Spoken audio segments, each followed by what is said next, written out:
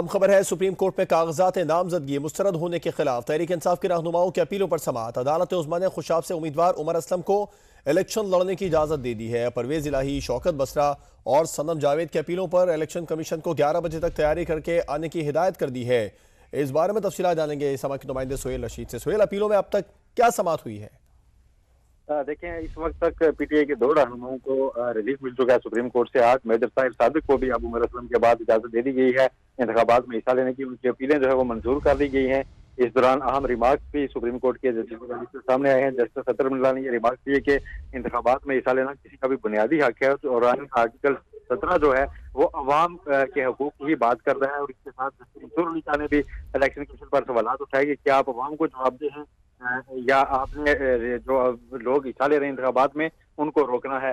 इसके साथ जो परवेज लाई हैं, सनम जावेद, उनके केसेस भी आज सुप्रीम कोर्ट के सामने मुकर हैं। ग्यारह बजे तक उनके केसेस में वक्त दिया गया है। इलेक्शन कमीशन को वो तैयारी के साथ मुआवनत करें। अगर आज वो मुआवनत नहीं करते और सवाल लेते हैं तो फिर परवेज लाई को भी इंतबात में हिस्सा लेने की इजाज़त देकर केस को एक माह के बाद फिर दोबारा सुना जाएगा। ऐसा भी कहा गया है, सुप्रीम कोर्ट की जनी से ये मुख्तलिफ़ अपीलें हैं, जिन पर आज सुप्रीम कोर्ट में समात हो रही है। अब तक दो पीटीआई के मायसी याफ्ता उम्मीदवारों को रिलीफ मिल चुका है। देखें, इस वक्त तक पीटीआई के दो रहनुमाओं को रिलीफ मिल चुका है सुप्रीम कोर्ट से आज। मेजर साहिब सादिक को भी अबू उमर असलम के बाद इजाज़त दे दी गई है। इंतबात में हिस्सा लेने की उनकी अपीलें जो है वो मंजूर कर दी गई हैं।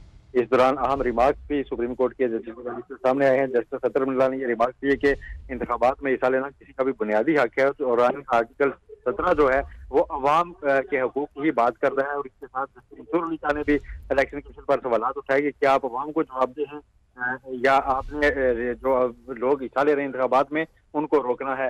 इसके साथ जो परवेज लाई हैं, सनम जावेद, उनके केसेस भी आज सुप्रीम कोर्ट के सामने मुकर हैं। ग्यारह बजे तक उनके केसेस में वक्त दिया गया है। इलेक्शन कमीशन को वो तैयारी के साथ मुआवनत करें। अगर आज वो मुआवनत नहीं करते और सवाल लेते हैं तो फिर परवेज लाई को भी इंतबात में हिस्सा लेने की इजाज़त देकर केस को एक माह के बाद फिर दोबारा सुना जाएगा। ऐसा भी कहा गया है, सुप्रीम कोर्ट की जनी से ये मुख्तलिफ़ अपीलें हैं, जिन पर आज सुप्रीम कोर्ट में समाप्त हो रही है। अब तक दो पीटीआई के मायसी याफ्ता उम्मीदवारों को रिलीफ मिल चुका है। देखें, इस वक्त तक पीटीआई के दो रहनुमाओं को रिलीफ मिल चुका है सुप्रीम कोर्ट से। आज मेजर साहिब सादिक को भी अबू उमर असलम के बाद इजाज़त दे दी गई है। इंतबात में हिस्सा लेने की उनकी अपीलें जो है वो मंजूर कर दी गई हैं।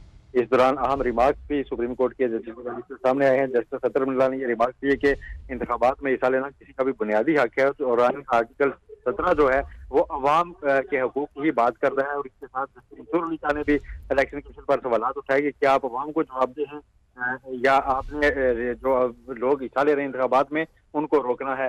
इसके साथ जो परवेज लाई हैं, सनम जावेद, उनके केसेस भी आज सुप्रीम कोर्ट के सामने मुकर हैं। ग्यारह बजे तक उनके केसेस में वक्त दिया गया है। इलेक्शन कमीशन को वो तैयारी के साथ मुआवनत करें। अगर आज वो मुआवनत नहीं करते और सवाल लेते हैं तो फिर परवेज लाई को भी इंतबात में हिस्सा लेने की इजाज़त देकर केस को एक माह के बाद फिर दोबारा सुना जाएगा। ऐसा भी कहा गया है, सुप्रीम कोर्ट की जनी से ये मुख्तलिफ़ अपीलें हैं, जिन पर आज सुप्रीम कोर्ट में समात हो रही है। अब तक दो पीटीआई के मायसी याफ्ता उम्मीदवारों को रिलीफ मिल चुका है। सुहेल रशीद, आपका शुक्रिया तफसीत बताने